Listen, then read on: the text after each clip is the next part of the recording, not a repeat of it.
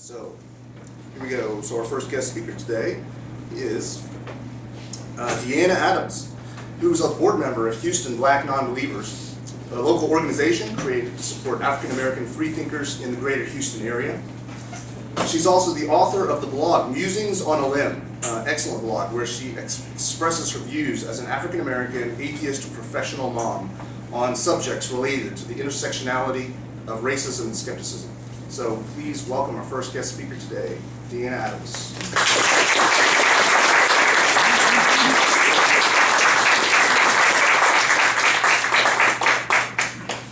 Don't fall over, right? Good afternoon, everyone. Good afternoon. Um, Can you guys see the PowerPoint with the lights on? We can Yes. turn them on. Turn them on. No, that's fine. Except I'm gonna move the t-shirt over here. So, so before we go into that, Can't hear you, Deanna. because I'm not talking yet, Ariel. Good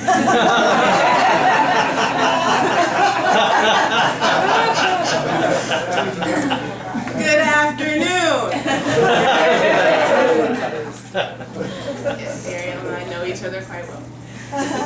Um, As Vic mentioned, I'm Deanna Adams. Uh, I do serve on the board of HBN, so definitely um, you know, look us up. I'm very proud of that and very proud also to announce that HBN is now a 501c3 organization officially.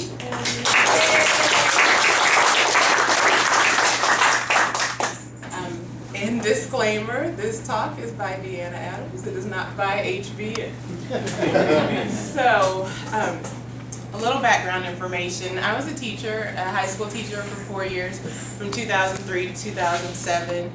In those years, I saw a lot of things. I taught ESL, or English as a Second Language, for the first two years, and then World Geography uh, for the general population of students for the second two years. So I kind of saw both sides of it, students that came in as immigrants and how they were treated, as well as our, um, you know, American students and, and how they were treated as well.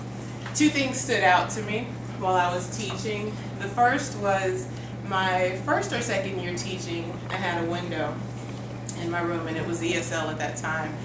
And one day a truck came in or a white van came into the parking lot and we looked outside the window. You know, a lot of the, the students, um, again, they were immigrants, so they were going, La migra, la migra. I'm thinking, wait, what? No, that's uh, immigration for those of you who aren't aware. Um, so I'm trying to calm the students down and we're also trying to see what's going on. And what we see is a line of students walking from the building to this van, uh, some of them in handcuffs. And what I found out that was later was uh, truant students, or students who had been truant. They couldn't have been truant that day because they picked them up from school. so, um, you know, we had a lot of that in Texas, and, you know, students were taken to criminal court, their parents were fined, um, there was just this whole cycle that was going on, and I just always thought it was very weird to pick them up at school for not going to school. Second thing that happened was a couple years later when I was teaching world geography. I had a student come in, I was eight months pregnant at the time, a little hormonal. And um, I had a student that was tardy for first period. So I was sitting down, he walks in the door and I said, you need to go, you know, get your tardy slip. And that's all I said. And he's like, F-U-B. And you guys can imagine what that was. There were in the room. And I, I got angry. This is not one of my shining moments as a teacher. Let me tell you that. I walked down the hall with this student, followed him to the AP's office, and demanded that the AP do something about it. I was given the opportunity to write an affidavit so that he could be ticketed for cursing in the school building, and I filled out that application, uh, or that affidavit. So I do believe he was ticketed. I didn't hear more about it after that. Uh, like I said, not my most shining moment. When now that I look back on it, I do regret that decision. I did find out later that the night before, the day before, this child's father had been sentenced to 35 years in prison.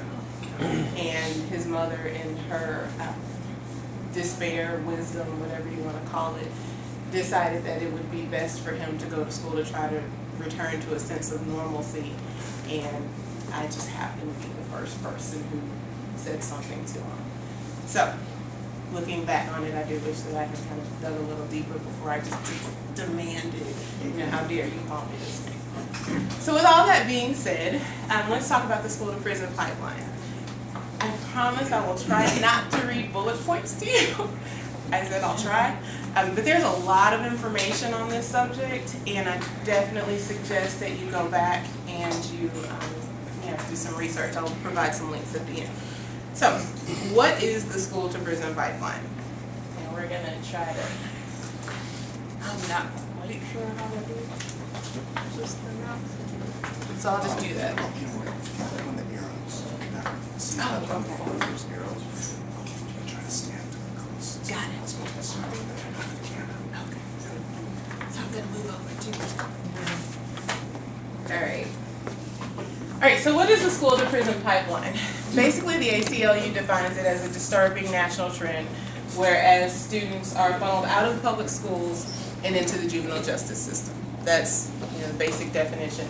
There's also emergent research on the sexual abuse to prison pipeline as well, where girls are basically punished sometimes for being victims of child, childhood sexual abuse or sometimes as an after effect of it. For example, if a girl is um, abused and she hurts her abuser or she assaults her abuser, a lot of times she is arrested then for the assault, but nothing is done about the sexual abuse that caused it.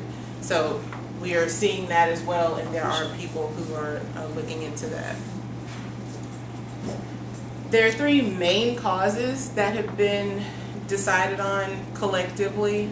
Again, there are tons of causes for this, but the three main causes that people look at are the zero tolerance policies, which we'll talk a lot about, increased reliance on law enforcement and criminal courts for students, and also hostile school climates. That is um, a definition from Texas Appleseed, which is a nonprofit, nonpartisan organization that works for justice for underrepresented Texas, Texans. Excellent group, look them up. And also, again, emergent research is quantifying something that we've known for a very long time, but the notion that black children are seen as older, less innocent, more culpable, and because of those perceptions, are disciplined more harshly than their white peers. So, zero tolerance policies.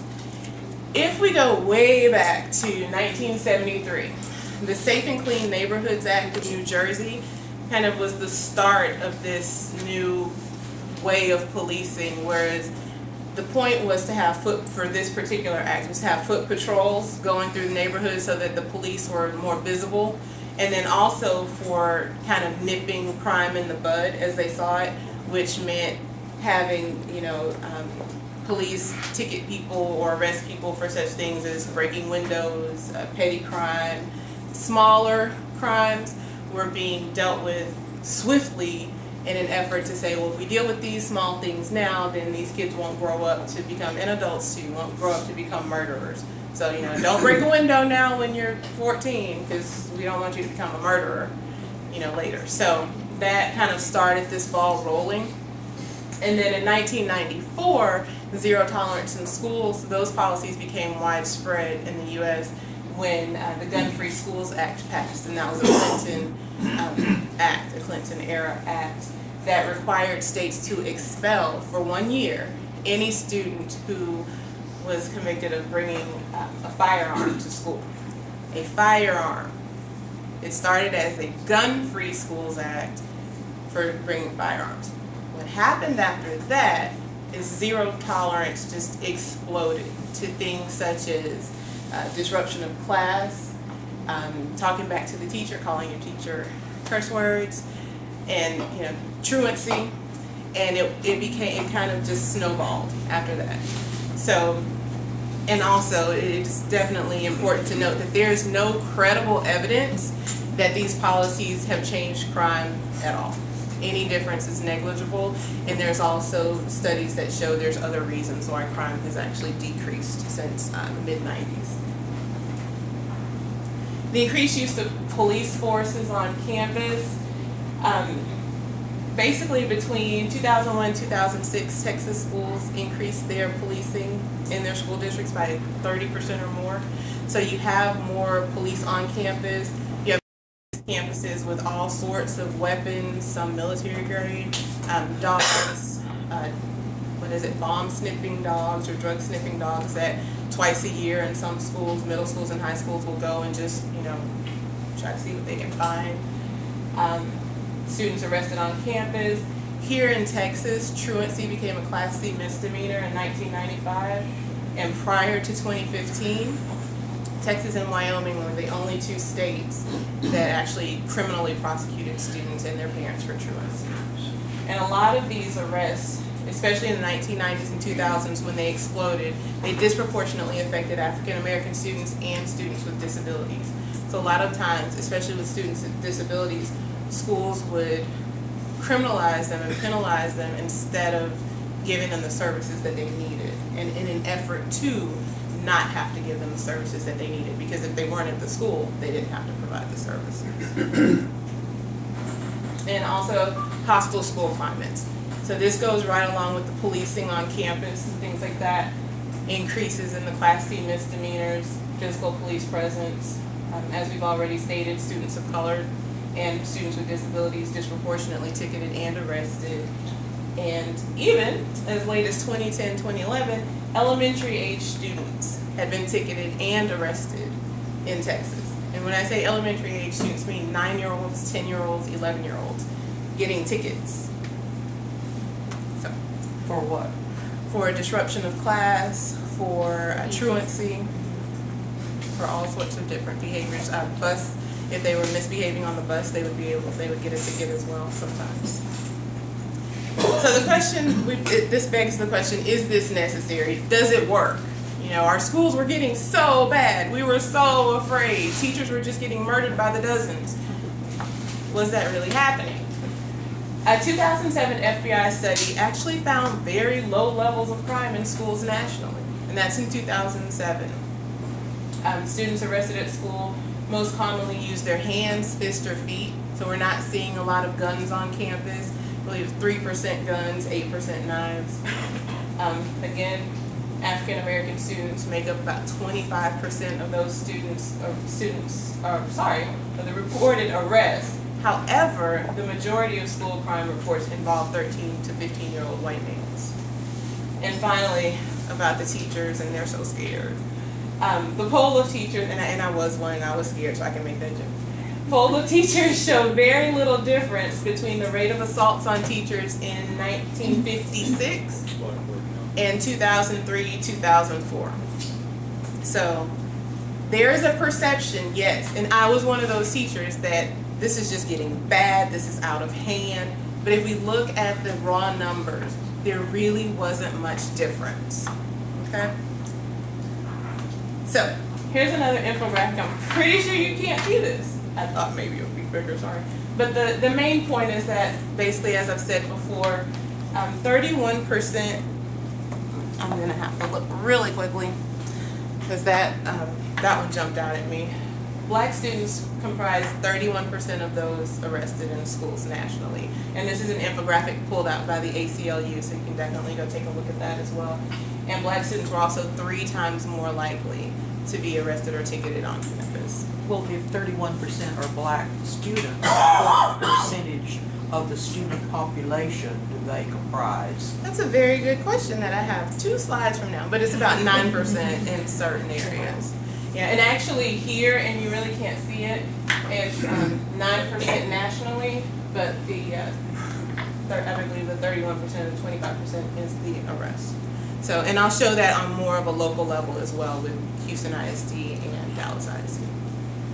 So, thank you for your question. It leads right on into the actual data.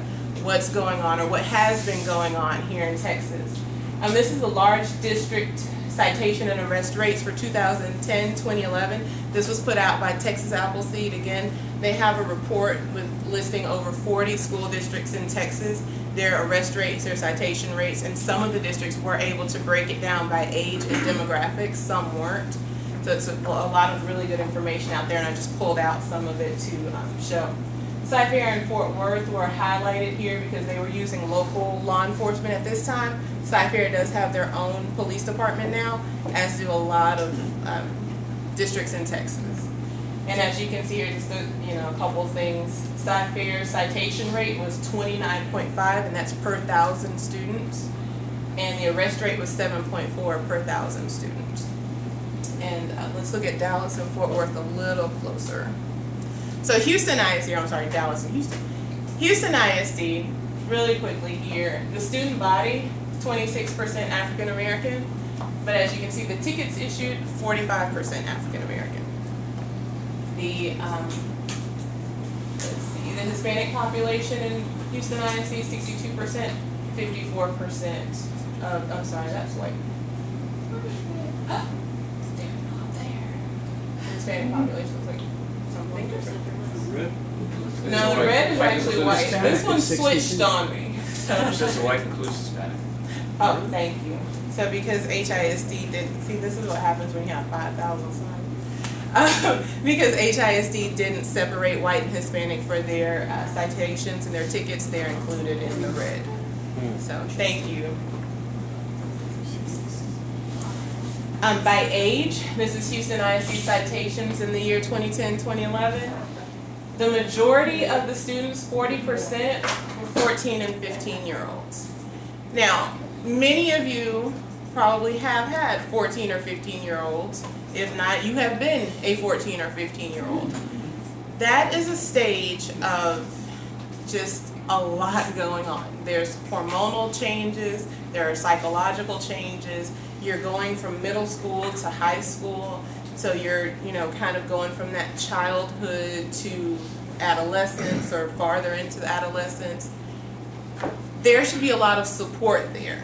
A lot of support, psychological support, educational support, things of that nature. Not a lot of tickets and arrests and citations. And then what else is very disturbing, I mean, this whole chart is disturbing, but another thing is this is 9 to 11 year olds. 3% of all the citations issued in HISD in 2010 2011 were to 9 to 11 year olds. They can't write contracts, so why are they getting tickets? They can't read the tickets half the time.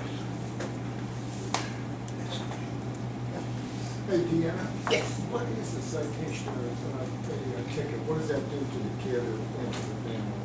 Well, prior to this year, and, and there's actually been some laws changing that, but basically it could be anything from a fine for the child, for the parent, most likely it's, you know, for the parent, especially with nine to eleven year olds, um, and things like that. Usually it's a fine, and they could be upwards of five hundred dollars.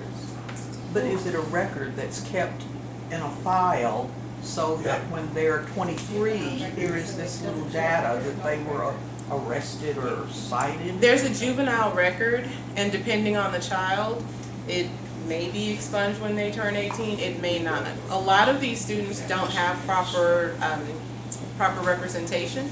So even though they say the records are expunged, if they don't have a lawyer who's gonna make sure that that happens, it may stay on the records. And nowadays, even if things are expunged, there's records of everything everywhere. So if someone looks hard enough, they can find it, definitely.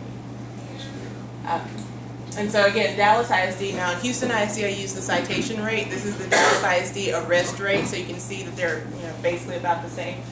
Again, twenty-five percent African American population, forty-six percent of those arrested were African American. Um, in this one, we actually do have a breakout between white and Hispanic, so sixty-eight percent Hispanic population, forty-three percent arrest, and five percent white population, ten percent arrest. And then also by age, again, there are ten to twelve year olds being arrested. Well, there were in 2010, 10 to twelve year olds being arrested in Dallas ISD. Fourteen percent of those arrests were ten to twelve year olds. Forty-five percent of those arrests were thirteen to fifteen year olds, and then forty percent were sixteen to eighteen year olds. Alright, so again, just to, to reiterate, Texas Appleseed had this infographic in March of this year approximately 115,000 failure to attend school cases were filed against Texas students in 2013. That's truancy cases, and those were criminal cases. That is more than double the amount in the rest of the nation, over double. Um, we've talked about this hurt, these laws hurt students and these laws hurt families, okay? Eighty percent of those students are low income, so you add another fine on top of it, and then they can't pay the fine, and so it gets bigger and bigger, and you can see where the snowball is gonna go from there. So, with all of that information, I believe we can agree that there's a problem, right? Let's see what, what's been going on to hopefully dismantle this, because there is a little bit of good news. More people are talking about it, and some things are changing, though we do need to keep talking about it and get more changes going. So nationally speaking, um, there have been many research articles, people talking about it, to show the detrimental effects of these policies, the school to prison pipeline as a whole, but also zero tolerance policies, police and schools, things like that. And also the disproportionality of the punishments.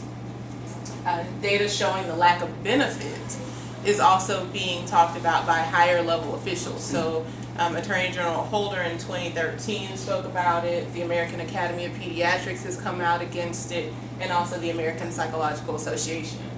Many states and districts are finally moving away from zero tolerance policies, so that's definitely a good sign. And there's a lot of uh, code of conduct reviews in school districts and retraining of school resource officers, which is kind of the next frontier of that as well. Again, nationally in 2011, the U.S. Department of Justice and U.S. Department of Ed created the Supportive School District Initiatives, I'm sorry, Supportive School Discipline Initiative, which basically seeks to coordinate and kind of support districts in making these changes. Uh, President Obama in 2014 launched My Brother's Keeper to help boys and men of color excel and uh, ensure that they can reach their full potential and also address persistent opportunity gaps. And also he uh, did a report, or the White House report on women and girls of color to address the challenges and expand opportunities for them as well because we can't leave girls out of the equation, especially young black girls who are, again, more times likely to be punished severely, to even be perceived as, you know, sassy or loudmouth or talking back or rude or what have you. Perception becomes reality. That's the perception, and then these girls are punished more harshly. So we're definitely speaking out about that too. Locally here in Texas, again, Texas Appleseed, these are just some of the things that they've been able to, to help with. In 2009, they succeeded in helping pass new state laws to eliminate expulsions from disciplinary, disciplinary alternative schools for persistent minor misbehavior and require schools to give more support, um, consider students' intent and disability when meting out punishments. A lot of times what was happening is students with disabilities or students who had discipline issues were sent over to these alternative education schools and once they were at these alternative education schools, if they did anything wrong, I mean, anything, minor disruption of class, walking out of class, truant for a day or two, they were immediately like, this is your last stop, now you're kicked out. You're done, you're gone. So they were able to um, help pass new laws to overturn that. In 2011, there are, new, there are new state laws passed to restrict student ticketing for younger students. So the charts that we saw for 2010, 2011 have already gotten better. No student under 12 can be ticketed anymore in the state or I'm sorry, can be criminally prosecuted in adult court. In 2013, we had two bills, SB 393 and 1114, that virtually eliminated the ability to ticket students at all under 17 for school-related misbehavior. And in 2013, due to all this, we saw a more than 50% drop in the number of Class C tickets issued to school children for minor misbehavior because of these legislations that were passed. Quick question? Yes. If they're not ticketed, could they be fined, or does one lead to the other? That's a good question. Usually they're ticketed and then the fine comes with the punishment for that ticket. Yeah. I can't speak to individual school districts and how they've been going around it and handling it, so I don't know if they're doing fines without tickets. What, what are some other Class C misdemeanors that we can kind of relate to analogy of the, these behaviors that are ticketed. What else is a class C? I believe, No and registration in May- your car. thank you. I was gonna defer to the lawyer. Outdated registration in your car. Oh, Litter- Littering. Littering, outdated registration on your car. Is cursing in public still a class C misdemeanor? I, I don't know, though. Like freedom of speech. to me. Right, I was told that at one time, it might have been to scare me, I don't know.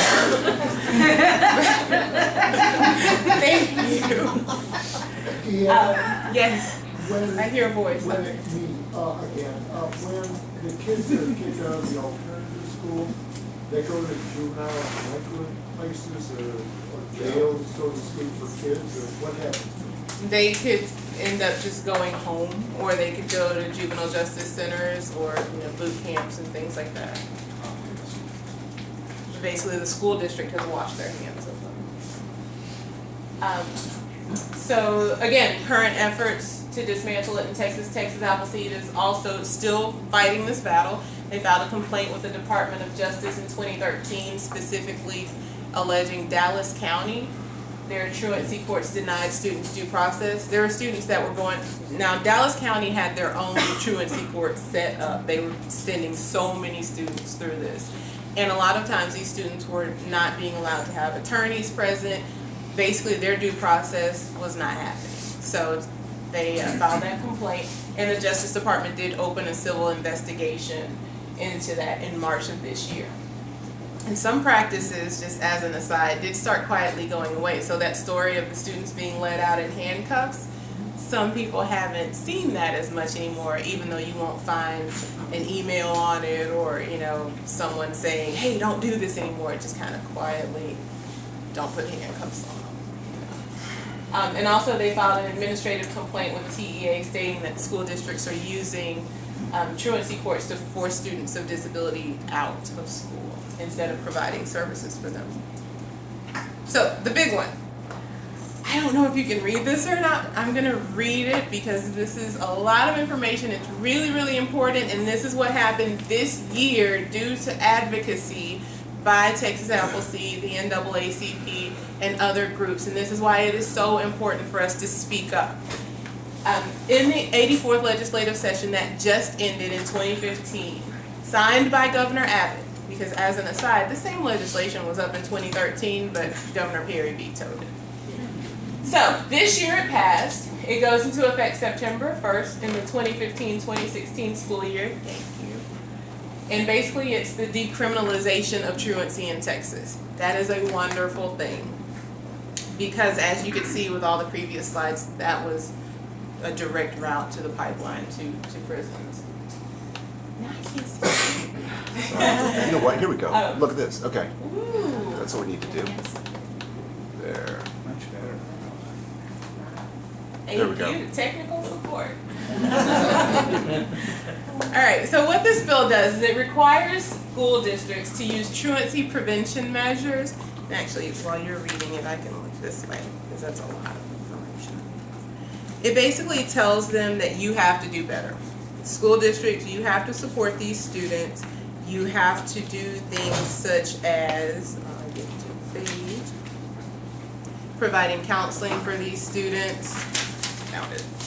Alright, employment of case managers, providing prevention and intervention services, creating behavior improvement plans for durations of no longer than forty-five school days, assigning school-based community service. Those are things that school districts can do to help these students before they get to that point. Now, if they do get to that point, if they are still chronically truant, the referral to court is a last-ditch effort, and then the referral is made to a civil truancy court. They are no longer going to be sent to criminal court for truancy. That's a huge win. Um, school districts must document the preventative measures even before they get to that point. So they can't just say, oh, you've been truant for three days, you're going, you know, to this court. They have to document that they did everything up here before they do this. Okay? Attendance officers can no longer take students into custody. So the lines of students going from the school to the van is not gonna happen anymore.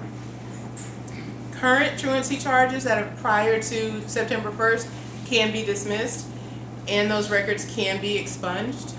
Okay, it's not an automatic, so if there's anyone that you know that have gone through that, they definitely need to speak up for themselves. And also, parents can still be subject to having complaints filed in county court or municipal court, but again, civil courts um, with this legislation. All right, so what can we do next? That that's a great thing, but the fight is not over. We can continue to speak out on the three main causes and the other causes of the school to prison pipeline, which again, to review, zero tolerance policies, law enforcement officers in schools, and hostile school climates, and racial disparities in disciplinary practices. You can contact your local and state leaders, let them know how you feel about this, see how they voted on the Senate bill that just passed, and either say thank you or why did you vote against it? What possible reason can you have? I'm watching you now. That's you know very important for them to know. I don't agree with the way you voted on this. I am now watching you, and you will now hear from me. And also, you can donate to organizations such as the ACLU, Texas Appleseed, that work on behalf of students and parents caught into these cycles. And know the laws for yourself so that you can advocate for yourself, your family, and your community. Okay? Um, I will, there are links that I've listed on here, and I know everybody's not gonna like scribble real fast. I'll put my information up here, which is right here. If you email me at bmusings at gmail.com, I will immediately send you back a copy of this whole PowerPoint if you like, so that you can have the links and you can have um, the research and information. I think we could also thank Senator John Whitmire, wasn't he the leader for Yes. getting most of this passed? Yes, definitely, definitely. Yeah, we can post all the links that, whatever you want to post on the, uh, share it. Awesome. So that's my time. Are there any questions? Yes.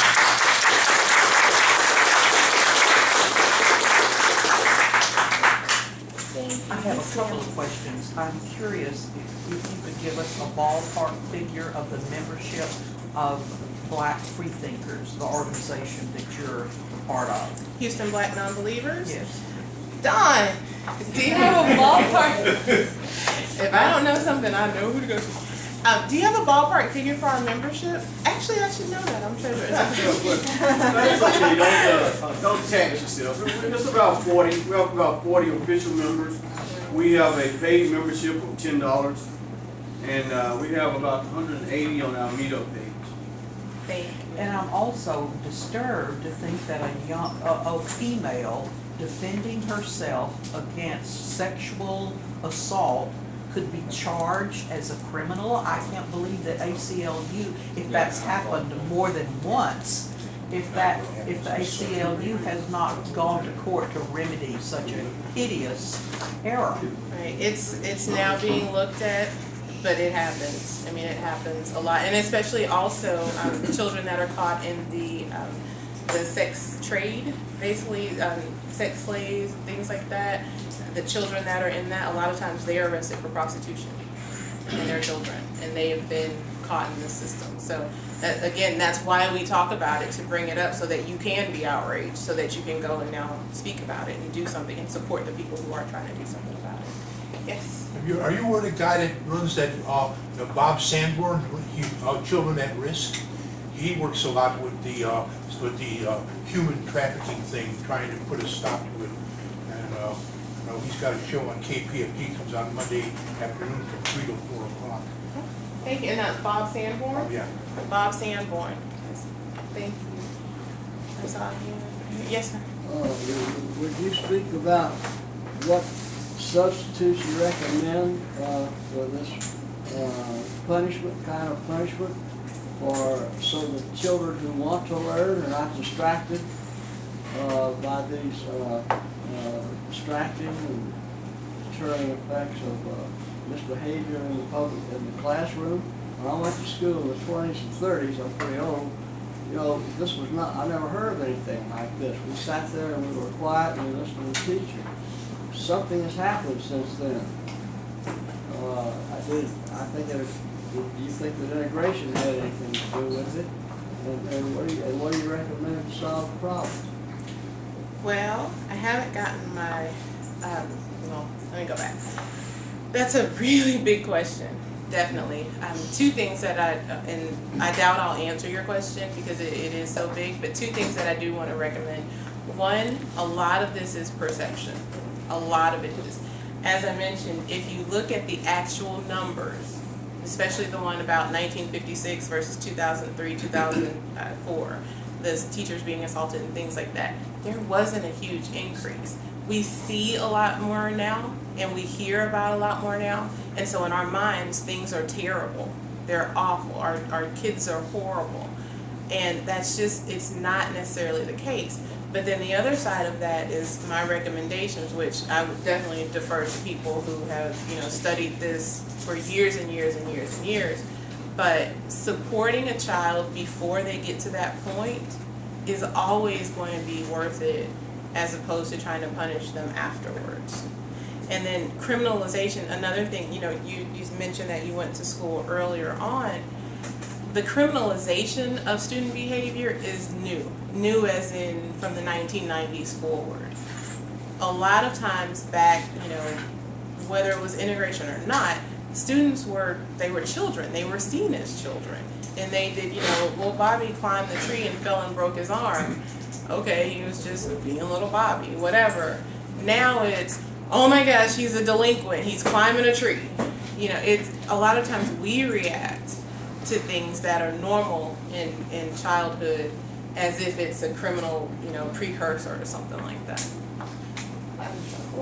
I just, Uh, Deanna, you Oh, did that, um, that one slide where there were improvements. Uh, is I can't hear you. uh, that one slide you have where there were improvements, okay. Uh, is there money, state money to back up, you know, the extra help that that would, uh? We're in Texas. Right. And that's, that's one of the, um, the detractors of the bill, that's one of the things that they brought up. That Texas, basically the state was pushing back on this more responsibility to the school districts without properly funding it. So that is one of the limitations of the bill, definitely. Um, I think a school, I think school districts have, especially, well, I worked in Cy-Fair and Klein, so, and I also did some, you know, textbook sales and things like that. So I touched most of the school districts between Houston, Austin, San Antonio. They have a lot of money and a lot of revenue streams, especially depending on what area they're in, and if they're getting additional federal money and things like that. I went to a lot of districts that didn't know what to do with some of the extra money because it had to be spent in specific places per the law. So it's it's interesting. They have the money, but sometimes they can't spend it in the right places. And some of the people, you know, who weren't really thrilled about the new law were not happy simply simply because of the funds. They were like, okay, we have to do this, but where are we going to get the money for? But a lot of times, counselors who are there now can kind of see these things beforehand, and if they started early enough, it doesn't become a bigger issue. But I have a suggestion for one of the earlier slides about the 13 to 15 year old white males. You ought to include a clip on Chris Rock. He was once in an elevator, two white teens jumped in and he jumped out. He said, Y'all aren't killing me. He said, What kind of world will we live in where little white kids want to go to black school where it's safe? I have to look that one up. Chris Rock, humanitarian philosopher. Yes, ma'am.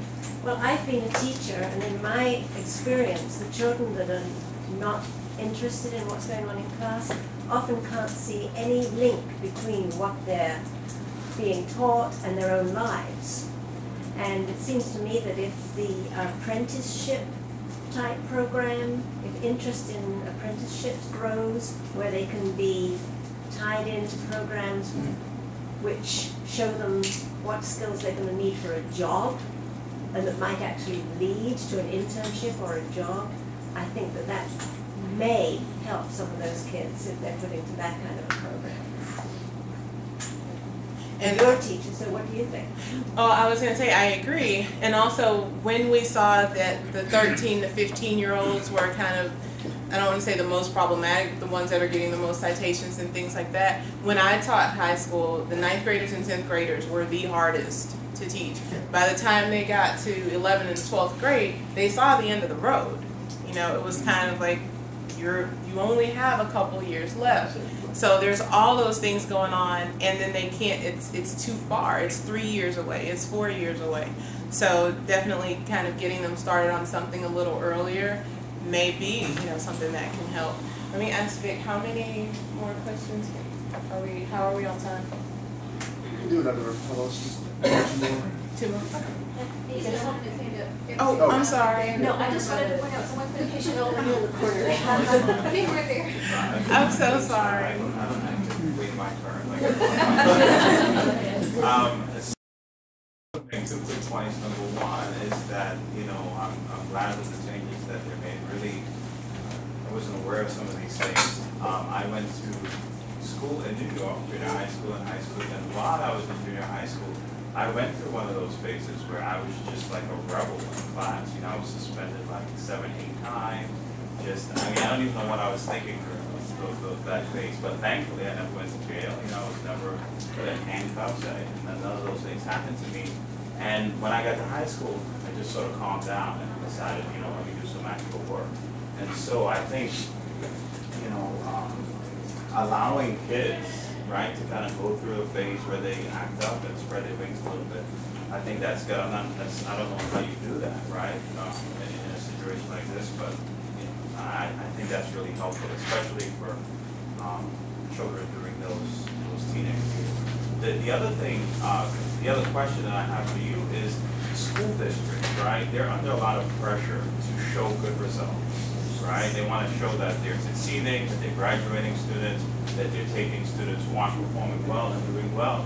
And during your, the course of your, your research for this presentation, did you uncover any of the hidden benefits that school districts receive for classifying students as truant or, you know, maybe setting them, assigning them to police officers so now those students don't count and their records look better or something like that? Uh, Could you speak to any of that? Yes, definitely. Um, that was one of the things that Texas Appleseed just uh, made a, a complaint with TEA about, is that they were using the truancy courts to get students with disabilities out of school.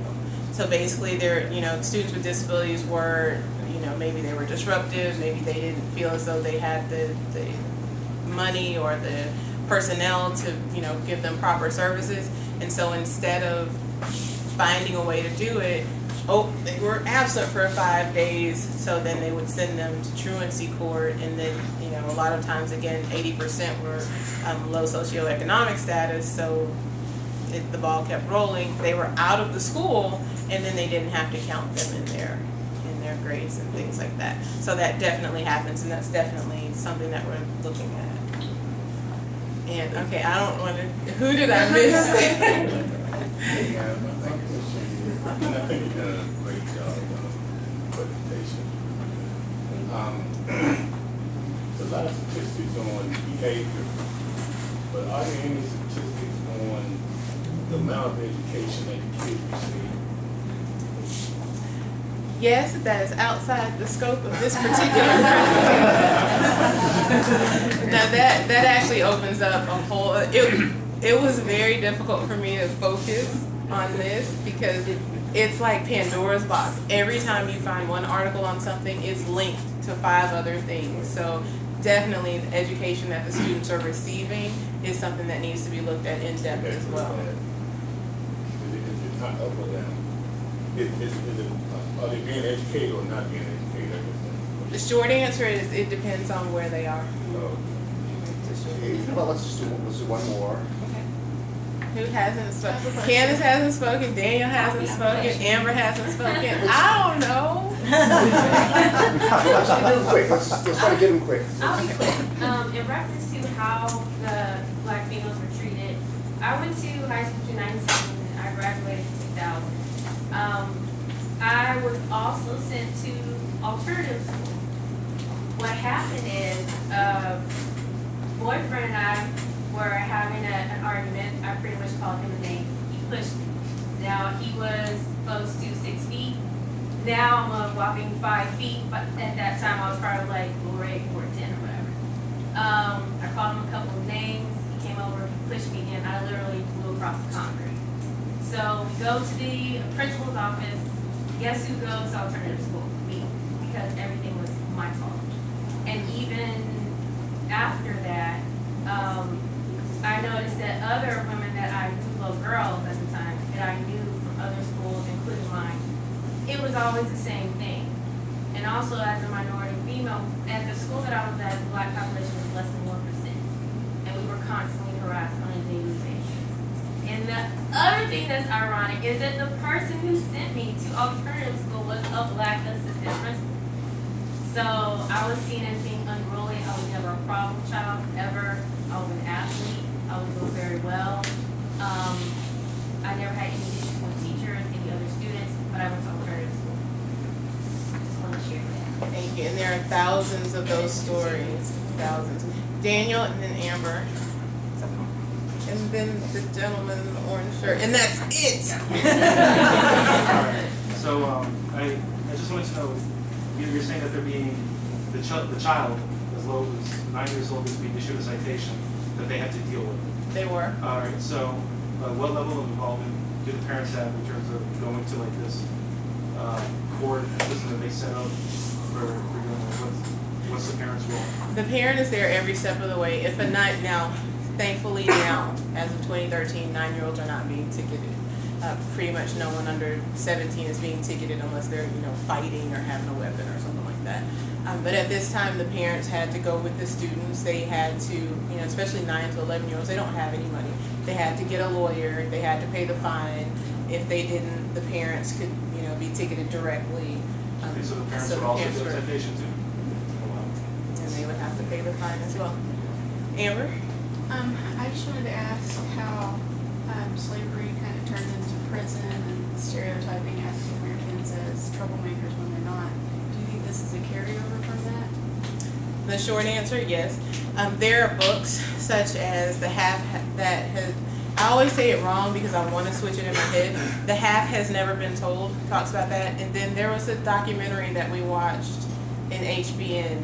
Um, it was basically about, no, it was about Reconstruction from how basically slavery turned into Slavery by another name. Thank you. Slavery by another name. And it basically talks about how after slavery ended, there was a small period of reconstruction where, you know, things were hopefully getting better. That's a way overstatement. Um, but then after that, basically it switched from, okay, if we can't enslave you, then we're going to put y'all in prison. And then there's um, peonage uh, servitude, basically, in jails. So it, it it's all related. Yes. like it's getting better now that we're hearing more about it? It's because we're starting to, to have to adjust to change or? I know, I'm kind of cynical. Yes, you're. Last question. The two common ways out of poverty are, for, for school-age child, is military or college. If somebody has a criminal record, they can't get in the military. I mean, even, even a juvenile criminal record. What about for college? How does that affect? Well, um, for the scope of this, I didn't look at college versus military, but I can probably assume that if you're, you know, you're already in low socioeconomic status, you're getting tickets, you're getting fined, you're getting, you know, you're going to juvenile jail for truancy and things like that. How are you going to find time to get into college? Now, if it if it precludes it or bars it, I'm not sure. I'm sure there are schools where you know you can still get into college um, if you have a, a juvenile record, but Um, just practically speaking. One way it affects you is you can't get a student loan. I know that if you have a criminal record. That's one way it affects you. You may still go to college, but you have to get in your- yourself. That's not true. There are some effects on it, uh, as far as criminal activity that you scholarship for, or grants and stuff like that from the federal government. It does not exclude you from all of So it depends on the offense. can't get a student loan. With a criminal Drug record. charges. He said that's just for drug charges. Okay. For drug charges, you can't get a student. All right. Thank you guys.